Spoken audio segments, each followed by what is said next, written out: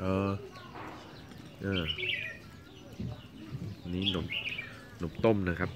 จะอันละหนึ่งพันอืมอืม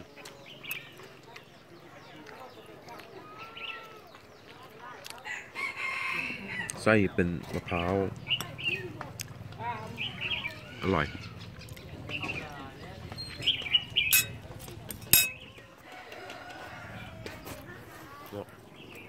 อีกชูได้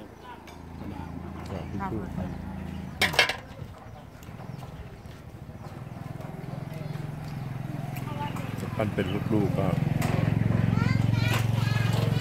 เอามาคลุกคลุกกับมะพร้าวนี่นะนู่นนู่นวันขายขายอะไรแหนมเรืองแหนังเลืองขายใช่ไหมลูกสาวตอนสายเรามีแหนมเรืองตอนเช้านี่เฮ็ดข้าวนมก่อน อออ๋อเมื่อคืนเมื่อวานเย็นขายแหนมเหลือง แม่นตอนแหลงนะตอนสายตอนตอนสายตอนเช้าก็ขายขนม ตอนเช้าแล้วใครข้าวนม โอ้ที่นี่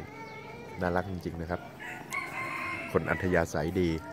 ขยันทำกินนะ